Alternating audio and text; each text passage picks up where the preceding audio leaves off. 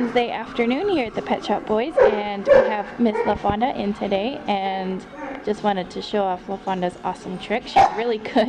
Hi, Lafawnda. She's really excited to get this treat too. She's really good at the spin and jump.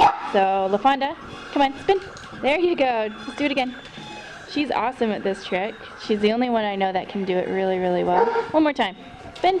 There you go. Good girl. She really wants her treats. awesome job, Lafawnda.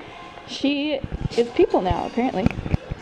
Alright, let's have an awesome day in daycare, Lafawnda.